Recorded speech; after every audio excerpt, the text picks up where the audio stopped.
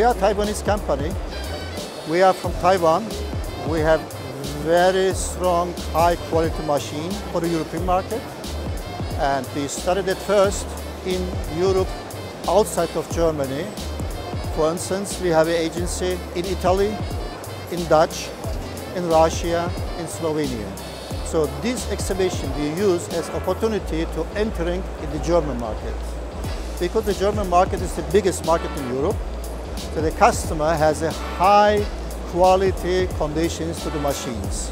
So that's mean our machines is the right solution for these parts the customer needs. Additional to that, our machines can be run simultaneously with uh, two spindle, two turrets separately without any uh, competition each other.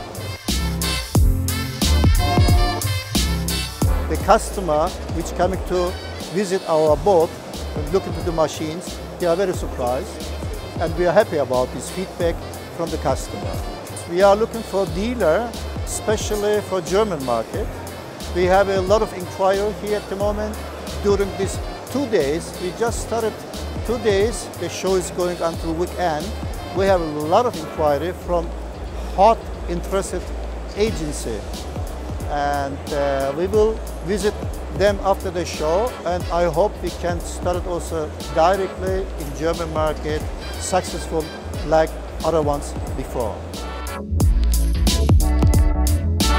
We are using all the internal parts mostly from Japan and from Germany.